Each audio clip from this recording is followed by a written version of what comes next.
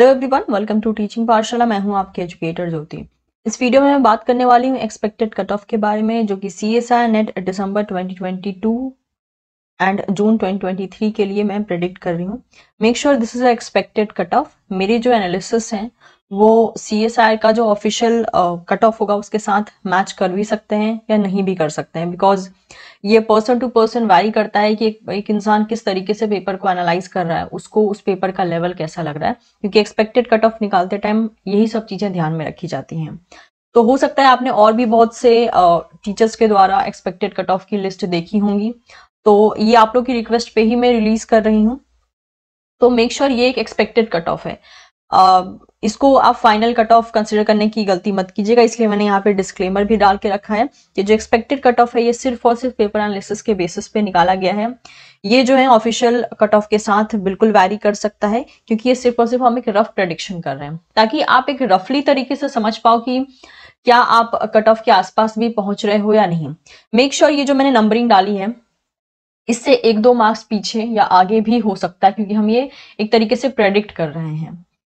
और ये जो कट ऑफ़ है ये मैंने रॉ स्कोर के बेसिस पे निकाला है बिकॉज़ परसेंटाइल निकालने के लिए जितने डेटा चाहिए वो डेटा आई मीन किसी पर्सन के द्वारा uh, मतलब निकालना it will be a little bit difficult क्योंकि वहाँ पे जो जो डेटा की ज़रूरत पड़ती है वो फ़िलहाल में uh, हमारे पास नहीं है और ना क्योंकि परसेंटाइल जो है इंडिविजुअल बेसिस पे देखी जाती है कि आपने कितने स्टूडेंट को पीछे छोड़ा कितने स्टूडेंट बैठे थे।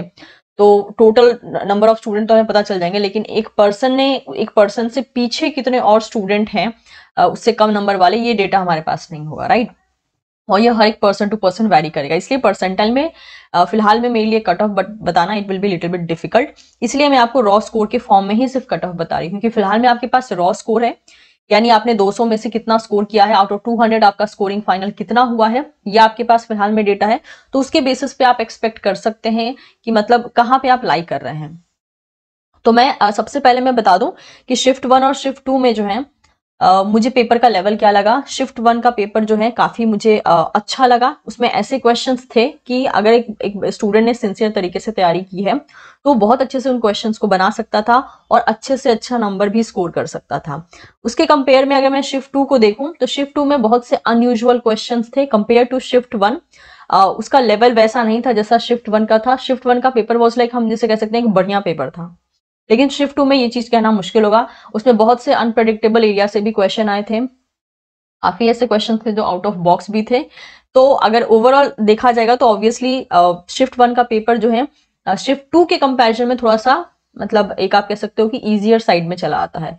पूरा पेपर इजी नहीं था ऑब्वियसली शिफ्ट वन का, लेकिन कंपैरेटिव बेसिस पे देखा जाए तो शिफ्ट वन का पेपर में स्कोरिंग अच्छी और ज़्यादा हो सकती थी कंपेयर टू शिफ्ट टू का पेपर शिफ्ट टू के पेपर में एक्सपेक्टेड है कि बच्चों की मे बी उतना हाई स्कोरिंग नहीं होगी मतलब एक एवरेज बच्चों को अगर हम लेते हैं तो ऑफकोर्स उतना हाई स्कोरिंग नहीं हो पाएगा. And this is very sure यहाँ शिफ्ट टू में से भी कोई बहुत अच्छा नंबर लेकर बैठा होगा may be one forty one forty five one fifty ऐसा बिल्कुल पॉसिबल चांसेस है। And same case with shift one also कि इसमें भी हो सकता है किसी, कोई स्टूडेंट 140 मार्क्स लेके बैठा होगा, कोई 150 कोई 160 मतलब फाइनल स्कोरिंग की मैं बात करूँ। तो एक्सेप्शन की मैं बात नहीं करूँ, मैं ऑन एन एवरेज की बात करूँ कि ज़्यादातर बच्चों के मार्क्स कहाँ पे लाई करने वाले हैं।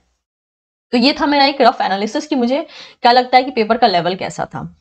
तो उसके बेसिस पे अगर मैं कहती हूँ तो आप देख सकते हैं यहाँ पे। Give me a second okay तो अगर आप जनरल कैटेगरी को अगर हम देखते हैं तो शिफ्ट वन जो कि है मॉर्निंग शिफ्ट इसमें जो है कट ऑफ़ जो मुझे लगता है, वो लगता है कि 114 से लेकर 118 के बीच में लाई कर सकता है। अगर आपके 113 भी है और 114 इस टाइप के मार्क्स में है तो मेनली आप कह सकते हो कि आप बॉर्डर लाइन पे हो। मतलब एक ऐसा पॉइंट जिसमें कि चांसेस है कि सिलेक्शन हो भी सकता है, नहीं भी हो सकता है।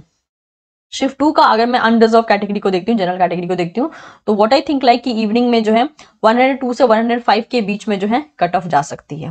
नेक्स्ट ईडब्ल्यू एस की मैं बात करूँ तो यहाँ पे मुझे लगता है कि जो कट ऑफ़ है मॉर्निंग शिफ्ट में, वो हंड्रेड हंड्रेड से वन हंड्रेड फाइव तक जा सकता है। शिफ्ट टू में ninety five to ninety seven के बीच में लाई कर सकता है।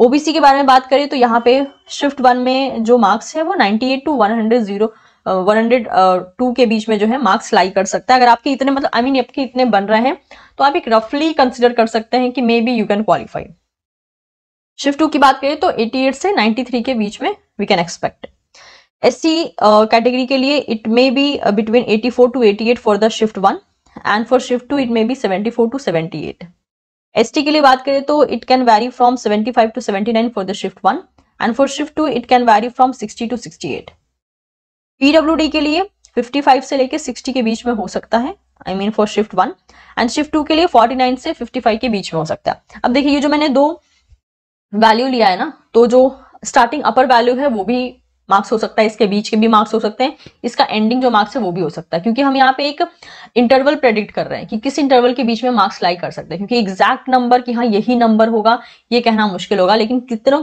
कितने नंबर के बीच में लाई कर सकता है या स्टार्टिंग या एंडिंग क्या हो सकता है, वो हम प्रेडिक्ट कर सकते हैं। तो ये आप रफ तरीके से देख सकते हैं। अफकोर्स ऐसा होगा कि बहुत से बच्चे पूछेंगे कि एलएस का क्या केस है मतलब लेक्चरशिप के लिए कितना होगा तो जो भी मैंने प्रेडिक्ट किया है, उसमें आप जो है टेन से लेके twelve to thirteen marks reduce कर लीजिए, वो आपके लिए कैटेगरी वाइज एलएस का मार्क्स निकल जाएगा। तो लगभग इतना ही वैरी करता है।